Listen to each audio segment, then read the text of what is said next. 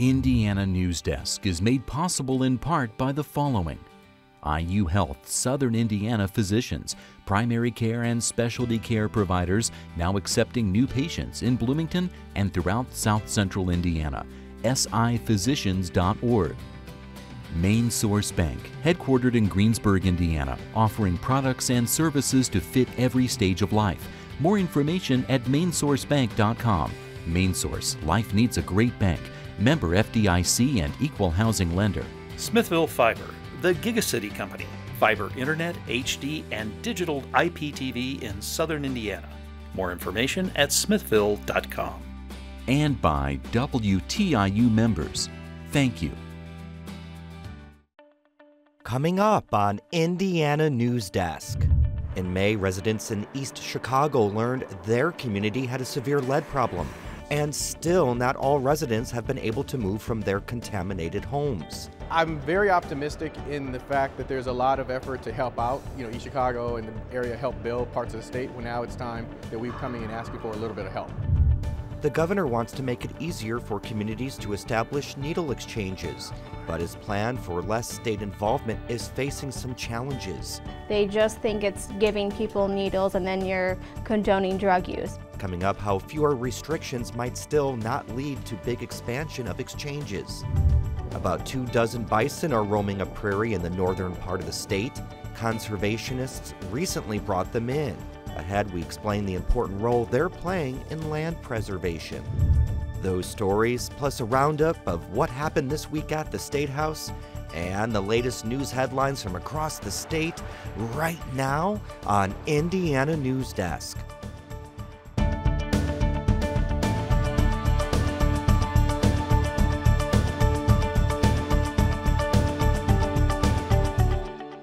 Welcome to Indiana News Desk. I'm Joe Hren. New Governor Eric Holcomb promised in his State of the State address to make it easier for counties to establish syringe exchange programs, and a bill moving through the legislature would make that possible. As Becca Costello reports, the programs aimed at reducing the spread of HIV and hepatitis C still face significant opposition. Hepatitis C cases in Tippecanoe County have been increasing about 30% each year for the past three years. Health officials have been working on a syringe exchange proposal for more than a year. County commissioners approved the plan last November, and the state health department approved a month later. But the program won't be ready to open for at least another few months. There's a lot of different parts, and trying to make sure all those parts were met to have the state approval for their syringe exchange program was a daunting task for, um, and some people were kind of scared of that process here. An unprecedented outbreak of HIV cases in Scott County two years ago marked a change in how state officials addressed the state's drug epidemic. People here were sharing dirty needles to shoot up powerful prescription painkillers. Then Governor Mike Pence approved a bill that allowed counties to establish programs where intravenous drug users could turn in used needles for clean ones. But counties have to get state approval before they start an exchange. We have heroes on the front lines saving lives every day. They include the public health nurses who run syringe exchange programs in nine Indiana counties. And that's why we will give county officials authority to establish syringe exchange programs to ensure that the people making the decisions are those closest to the problem. House Bill 1438, authored by Republican Cindy Kirchhofer, eliminates the step that requires state approval. It has bipartisan support, but does face significant opposition from new Republican Attorney General Curtis Hill. Hill testified at the House committee hearing, saying syringe exchanges encourage drug use. But the Centers for Disease Control and Prevention says that's not true, and they encourage the expansion of the programs nationwide. It, it, seemed like he wasn't really aware of, of the research and evidence that's out there that that is not true. Um, in fact, it, it reduces the harms associated with injection drug use. But Attorney General Hill isn't alone in his concerns. Back in Tippecanoe County, progress is slow because of local opposition. A lot of people don't understand exactly what a syringe exchange program is. They just think it's giving people needles and then you're condoning drug use.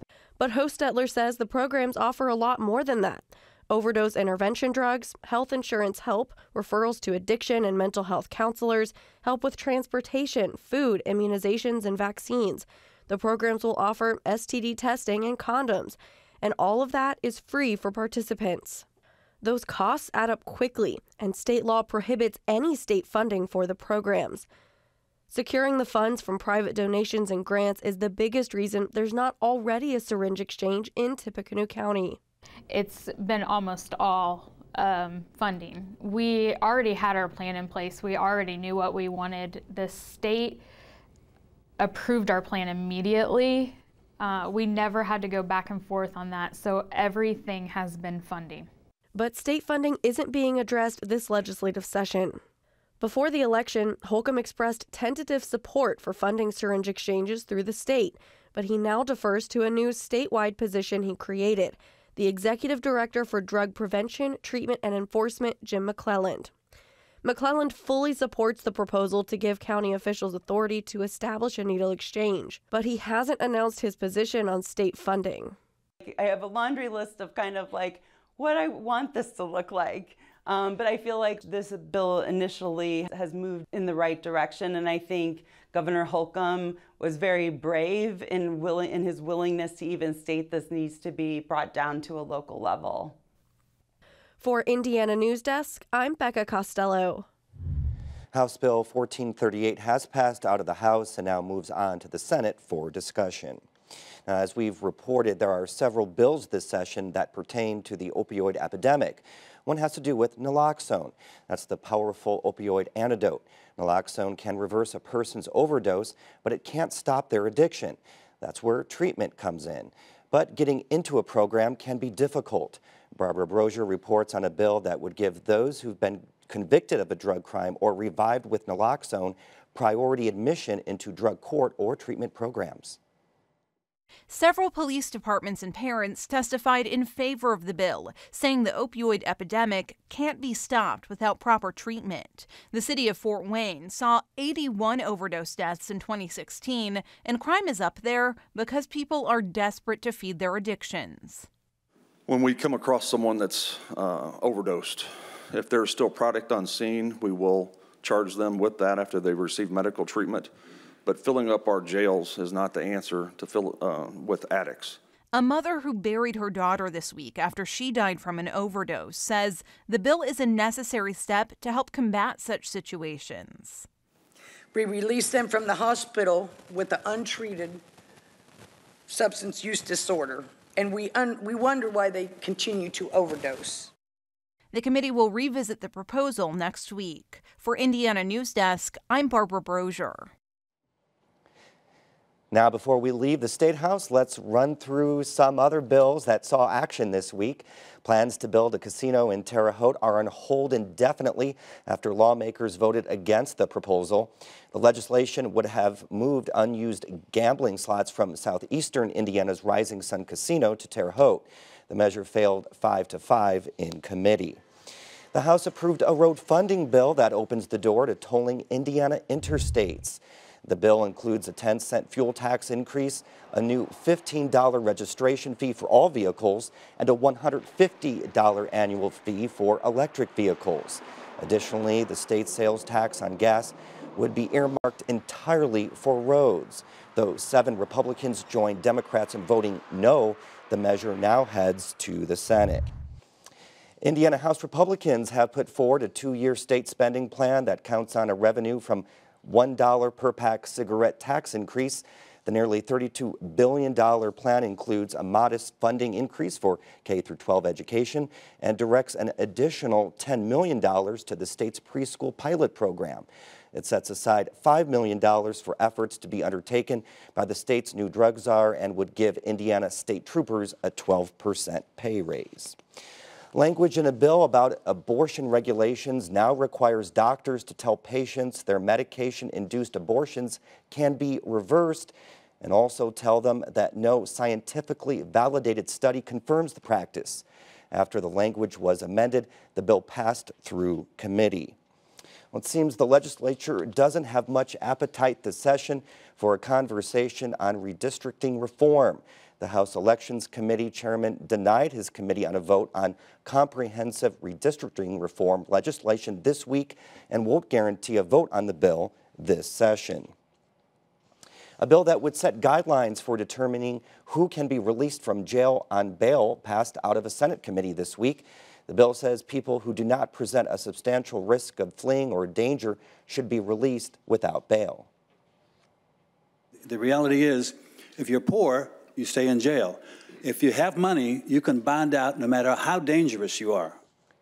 The proposal comes after the Indiana Supreme Court adopted new rules last year, asking courts to use evidence-based risk assessments to help make pretrial release decisions.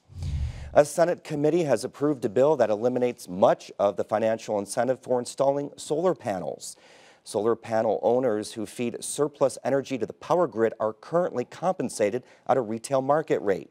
Originally, the bill would have allowed utilities to reimburse those people at the lower wholesale rate. An amended version allows people with existing panels to receive the full retail price for 30 years.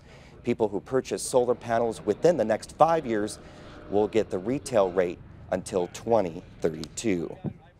Well, the so-called Airbnb bill is headed to the Senate, which bars local governments from banning short-term rentals. The bill would ban residents from renting out their homes for more than 180 days total in a year. This was the bill's second attempt at a passage in the House. And if a private or religious school in Indiana is rated a D or F for two consecutive years, it loses the ability to accept publicly funded vouchers that help students pay tuition. But some House Republican lawmakers want to give these schools another chance. Their proposal would create an appeal process for private schools.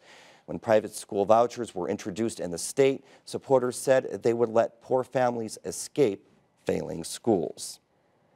Now for headlines, we go over to Lindsay Wright, who has the latest on this week's top stories. Thanks, Joe. More than two dozen hate organizations operate in Indiana. That's according to a new report from the Southern Poverty Law Center. The Ku Klux Klan and white nationalists are most prominent, both with seven located across the state. Among the other groups are neo-Nazis, racist skinheads, and black separatists. 25 new hate groups formed across the country between 2015 and 2016. The most dramatic increase was in the number of anti-Muslim groups. The report lists one anti-Muslim group in Indiana. The state announced this week construction on the stretch of I-69 from Bloomington to Martinsville will continue through at least May of 2018. It's part of a memorandum of understanding reached with the private developer in charge of building and maintaining Section 5 of the interstate. Barbara Brosher has more. The orange construction barrels you see along the highway behind me will be here for quite some time as work on Section 5 of I-69 continues. Now, this project was supposed to be complete in October of last year. That date keeps getting pushed back because of ongoing delays. Now, as part of the Memorandum of Understanding reached this week, the state says all four lanes of traffic through Bloomington will be open by mid-August, and the project will be complete by May 31st of 2018. Bloomington Mayor John Hamilton met with Governor Eric Holcomb to discuss the developments and says he's cautiously optimistic about the completion of the project. Well, it was a very civil and frank meeting, and you know he's a new governor, and I, I want to give him a chance to do it right, given what he inherited. Um, and, uh, you know, he assured transparency. He assured me the Department of uh, Transportation Commissioner would work closely with us. Now, while the delays won't cost the state any additional money, the developer and main contractor on this project will pour an additional $75 million into construction. Reporting in Bloomington, I'm Barbara Brosher for Indiana News Desk. And that memorandum of understanding has to be approved by the developer's bondholders before it's legally binding.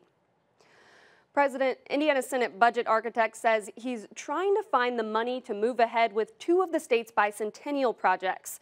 Their future remains uncertain after the governor pulled out of a cell tower deal last week that was supposed to cover those costs. That means legislators have to look elsewhere for nearly $50 million for a new state archives building and an inn at Potato Creek State Park.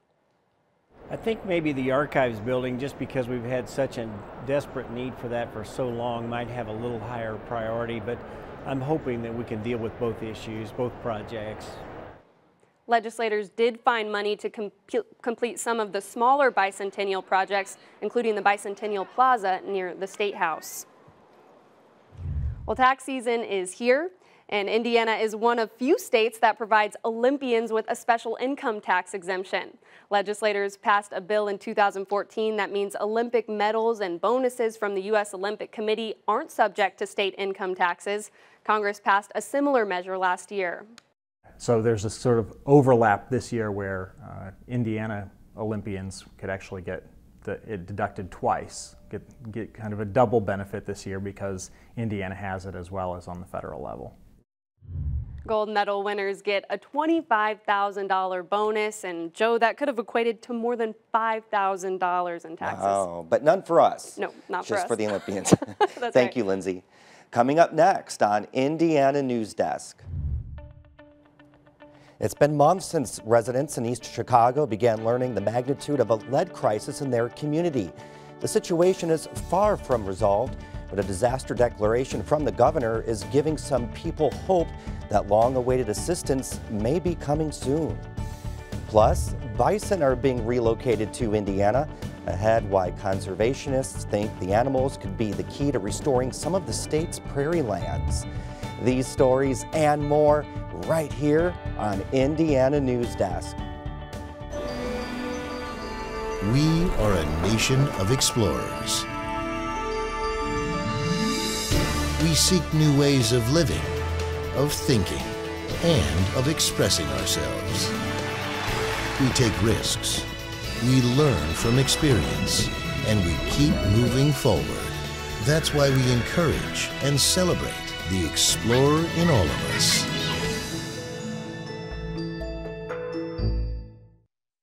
Ten thousand. Fifteen? Fifteen, you think? Twenty. Twenty-one thousand. 600. Twenty. 18 5. 24. It's at least 40. Look, dude, look at it. 4,500,000. 650. 20. 650. This textile would be worth about a half a million dollars. Half a million? No way. I knew it. It's just a blanket. Laying on the back of a chair. Well, sir, you have a national treasure. Wow. A national treasure. Congratulations. I can't believe this. Welcome back to Indiana News Desk. Well, residents in the Calumet neighborhood of East Chicago have been living on land contaminated by lead from old factories for decades. The Environmental Protection Agency has been aware of the problem and actively testing soil there since the 1980s. But the severity of the crisis really came into focus last fall when EPA officials tested drinking water and found elevated lead levels in 18 homes. Since then, hundreds of families have been displaced there's a chance now they might get more help from state officials to combat the crisis. But as Nick Janzen reports, some say it's too little, too late. A lot's been happening in the last few months since news spread about the extent of lead contamination in East Chicago. The West Calumet housing complex has been largely abandoned. The hundred or so families that remain can't find places to move, and students from Carrie Gosch Elementary School have been relocated. The state has provided $200,000 for testing and relocation costs, but given the scale of the problem, it's a drop in the bucket. Four pieces of legislation moving through the legislature would send additional aid to the area. I'm very optimistic in the fact that there's a lot of effort to help out, you know, East Chicago and the area help build parts of the state. Well, now it's time that we're coming and asking for a little bit of help. Harris's bill would increase soil and water testing for lead in the Calumet neighborhood. Some residents would like to see it amended to expand testing to the entire city. The other bills would provide aid to Carrie Gosch and set aside money in case federal cleanup efforts don't sufficiently remediate the area. And last week, Governor Eric Holcomb issued a temporary disaster declaration. It spans the 322 acre Environmental Protection Agency Superfund site, including the Calumet neighborhood and its 3,000 residents. Former top level EPA official Jim Barnes says while the declaration is a step in the right direction, it's important to note that in the same week it was passed, lawmakers voted to override a veto from former Governor Pence to give extra scrutiny to any environmental regulations more stringent than federal rules. So what that means is a signal from the the uh, our representatives in uh, Indianapolis that in no case do they want to be more protective of people's health than whatever is put in place by EPA, and that's in a climate now when there clearly is a, are a lot of forces that are looking to try to roll back what EPA is uh, uh, doing. And if, if EPA and the state aren't looking out for, for people's health, uh, God save us. The disaster declaration, which Pence denied before leaving office, says the state will seek EPA grant funding to replace lead pipes in parts of the Calumet neighborhood. The EPA will resume soil cleanup in the spring, and officials say an order from the Trump administration freezing grants and contracts won't affect those activities. For Indiana News Desk, I'm Nick Janzen. So Nick joins us now, and kind of timely for us. Uh, and I don't know if it's timely for the residents of East Chicago, but Governor Eric Holcomb was just up there today, uh, right? Yeah, that's right, Joe. And residents, city officials, lawmakers have been practically begging any governor to come see the area. Mike Pence did not visit, but Governor Holcomb was there today. He met with some of the affected residents and uh, spoke with city officials about how they might implement the uh, emergency declaration he issued last week. So talking a little bit more about that emergency declaration, what's all that about? And that's just for 30 days. So then what happens after those 30 days? That's correct. The declaration does a lot of things. Most importantly, it helps the residents who are still living in the West Calumet housing complex find a new place to live by March 31st. And that date's really important because the city, prior to the declaration being issued, said that by the 31st, anyone who is still living there are going to be involuntarily relocated to another public housing complex across town. Residents I've spoken with are nervous about that because they say that complex isn't in a safe neighborhood. It's not exactly clear what will happen after the declaration ends, but the state has directed the city to give it a list of any additional resources it feels like it needs, and they need to do that by March 5th. So the state of emergency is really a separate thing from what state lawmakers are doing. Can you explain the difference between those two? Sure, yeah. The legislative packages going through are not directly related to the emergency declaration, and the bill that has the most traction is from Representative Earl Harris, and that bill actually just passed the House yesterday, so that'll go on to the Senate for consideration now. Some of the other bills uh, were heard in the Senate Appropriations Committee last month. Luke Kenley, the committee chair, told me those bills probably won't get a vote, but they're looking at taking the language in them and putting it in the Senate's version of the budget this year. So this is a story you've been covering for months. Really quickly, what's it like up there now? You know, there has been progress. More people are getting their blood tested for lead, although sometimes they're slow to get the results, and more soil has been remediated.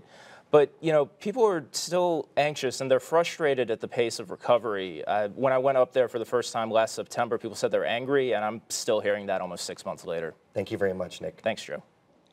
The city of Bloomington is dealing with a lead problem of its own.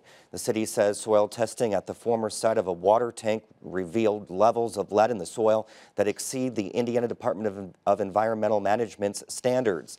The city says the lead does not present any danger if left undisturbed, but some claim to have seen people access the site.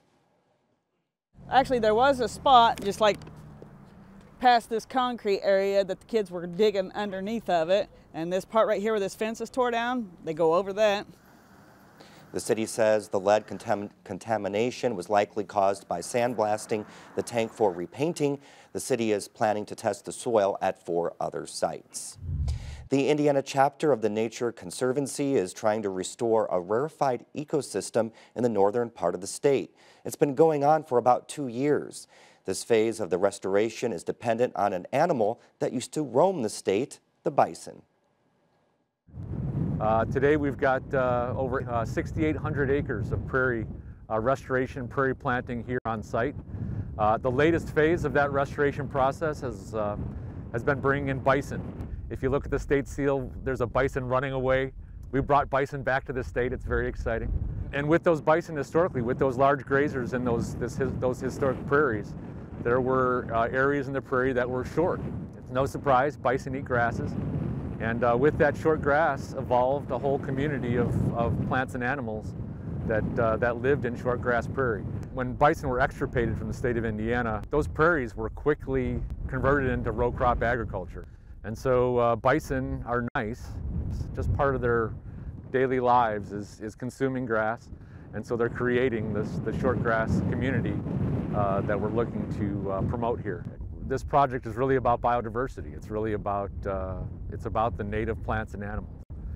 And so by getting people here, we hope to educate them uh, to what our mission is and what our, what, our, what our goals are, and so they can have an appreciation for, for this project.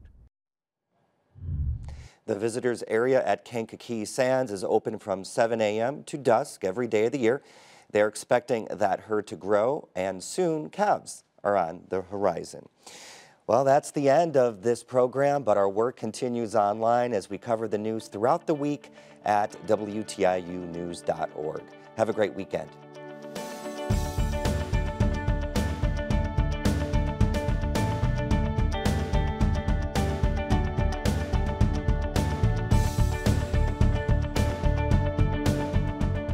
Indiana News Desk is made possible in part by the following. IU Health Southern Indiana physicians, primary care and specialty care providers now accepting new patients in Bloomington and throughout South Central Indiana. siphysicians.org. Main Source Bank, headquartered in Greensburg, Indiana, offering products and services to fit every stage of life. More information at mainsourcebank.com. Main Source, life needs a great bank. Member FDIC and equal housing lender. Smithville Fiber, the Gigacity Company. Fiber Internet, HD, and digital IPTV in southern Indiana. More information at smithville.com. And by WTIU members. Thank you.